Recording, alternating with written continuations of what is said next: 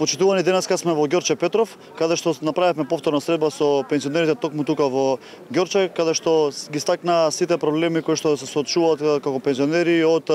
немањето капацитети во статските домови до поддршката која што треба да имаат како стари, односно возрастни лица и пензионери токму тука во општина Ѓорче Петров. Меѓутоа она што е главно барање нивно и прашање кога поставуваат е